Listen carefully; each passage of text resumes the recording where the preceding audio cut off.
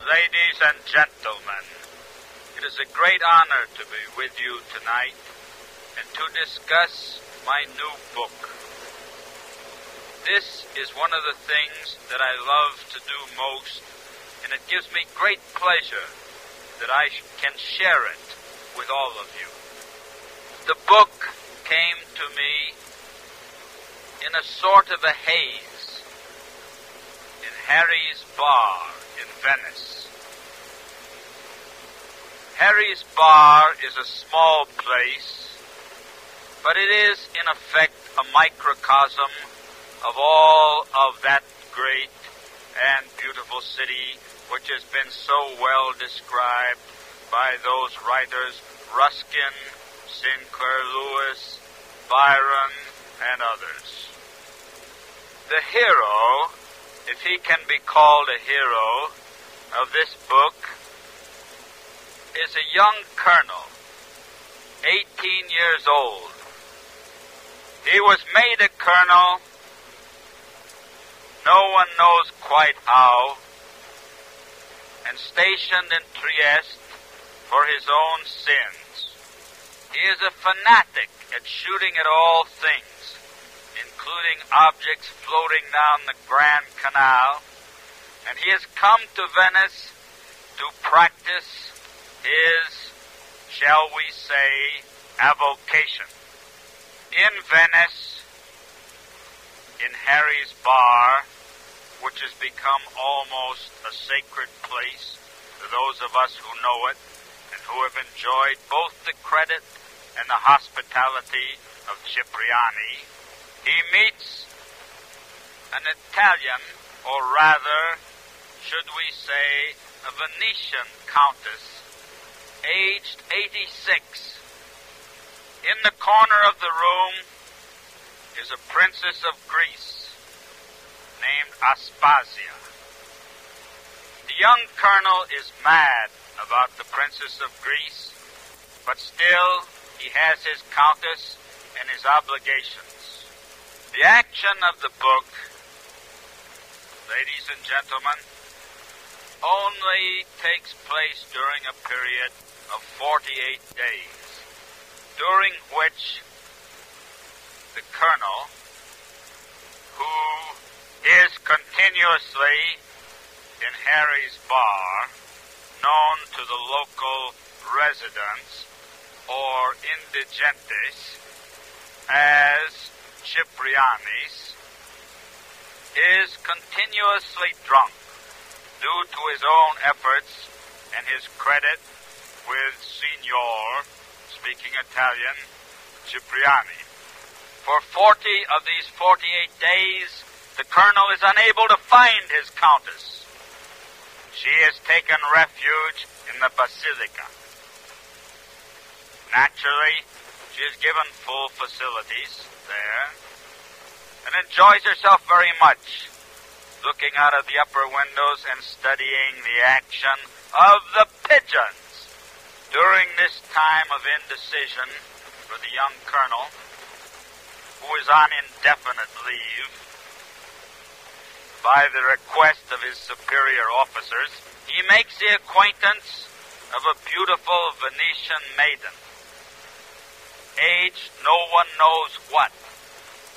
Some say 16, some say 17, others who are treacherous say 18. She, through her powers of seductiveness, induces him to visit the island of Tornicello. The colonel is accompanied by his faithful black priest, who is his spiritual advisor and can almost be regarded as his spiritual manager. Together, they make a pilgrimage to this island, a very ancient part of the lagoon which surrounds Venice a town which I shall describe later after consulting my Baedeker. His love at first sight between the colonel and Aftera. There is nothing to be done. It is a hopeless love, but much can come of it. And the colonel takes advantage of this situation in a manner which might be criticized in certain circles, but which we will attempt to condone due to the presence of his faithful black priest, who at this moment has passed out.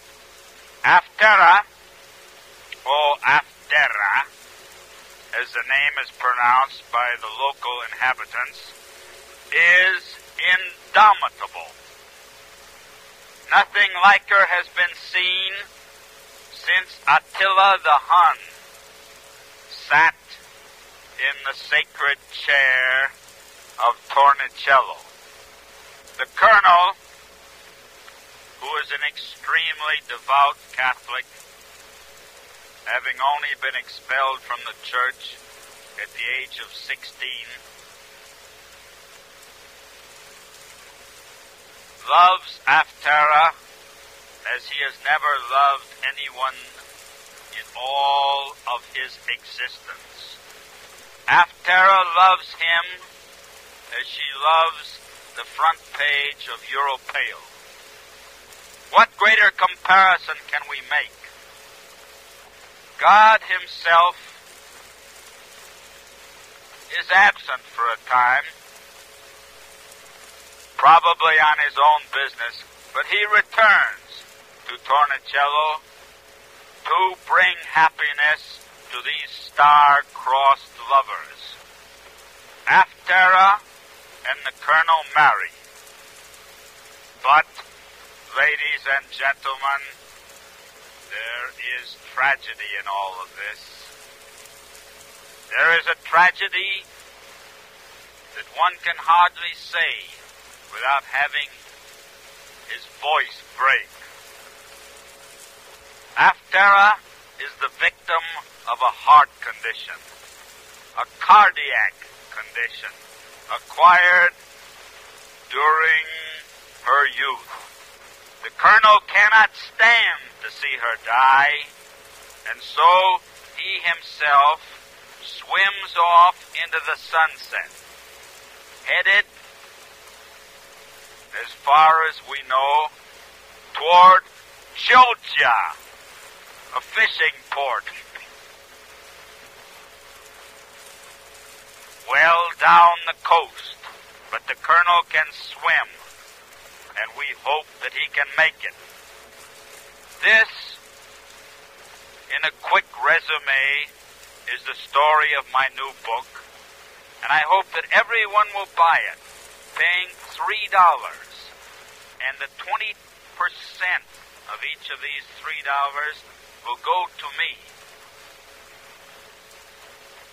to pay Gagliaretta and other people first, and then to go to the Fondacion Aftera, which is to commemorate that great soul who has brought us such happiness. I thank you, ladies and gentlemen, for your patience.